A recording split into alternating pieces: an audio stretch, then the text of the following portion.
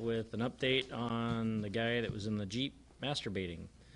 Uh, Just to kind of recap, what- we made an arrest. Uh, This was yesterday afternoon.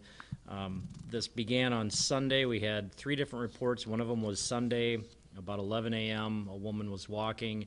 Guy drove up and asked for some directions. As she was giving directions, she noticed he was masturbating. Uh, She was able to get a, a description and then a license plate number, which really is uh, huge in this case. Um, we did have uh, another report that was Monday afternoon. That was about 6:30, and that was basically the same thing. Uh, guy drive drove up and asked a woman for directions. She noticed that he was masturbating, and then he drove away. Uh, I don't think in that case she was able to get a license plate, but the description and everything matched.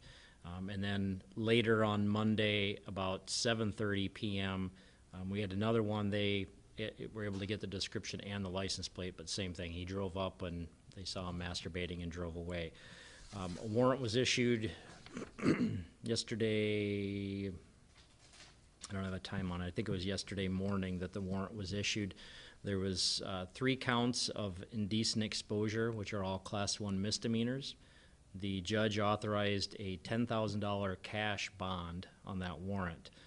The uh, suspect in this case was arrested. It was about four fifteen p.m. yesterday afternoon, uh, and he was arrested at his home, which is in the seven hundred block of West Eighteenth Street. Uh, his last name is Ryckman, R Y C K M A N. First is Carl, C A R L. Middle is William, W I L L I A M. And let me get you his age. He is 22. Uh, from Sioux Falls, yep. He's still in jail. Uh, it's obviously there's a bond that's set, but uh, he has not bonded out yet, so he should be making his first court appearance this afternoon. And that ten thousand dollar